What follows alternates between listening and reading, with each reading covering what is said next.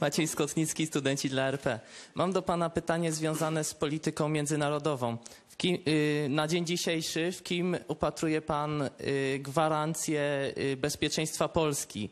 Czy w USA, w Rosji, w Niemczech może, czy skupia się pan bardziej na, skłania się do gwarantu bezpieczeństwa w ramach rozwijania wspólnoty, na przykład w obrębie Grupy Wyszehradzkiej?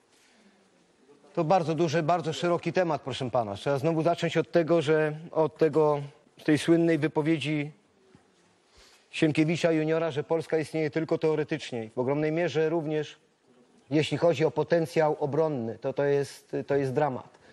Tak y, służby wewnętrzne, jak i, jak i w, armia. Popatrzcie na samą policję.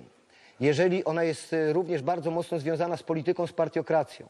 Zauważcie kazus komendy głównej. Zmienia się opcja rządząca, partia rządząca, natychmiast zmienia się komendant główny. Zmienia się komendant główny, rozsadza w komendach wojewódzkich swoim kluczem komendantów wojewódzkich. Ci z kolei dają, zaraz kończę, komendantów, komendantów y, komisariatów.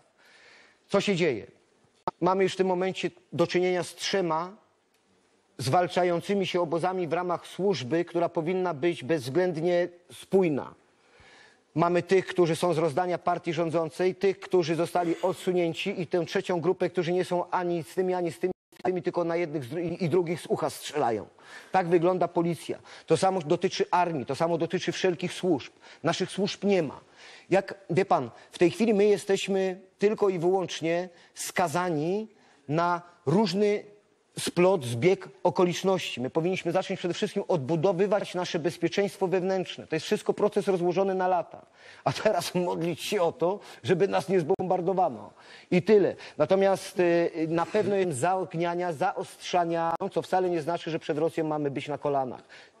Absolutnie Krótko, nie. bardzo- Zbliżenie bardzo się proszę. do Ameryki Panie z całą Pawle, pewnością. jeszcze Ale nie jedno- możemy się doprosić y, y, tarcz antyrakietowych. Nie wiem. Wiążę y, nadzieję, tak jak mówię, w przyszłości z systemem prezydenckim i z panem prezydentem Dudą. Mam nadzieję, że to przyniesie Bardzo jakieś proszę, korzyści krótkie pytanie, Polsce. krótka odpowiedź.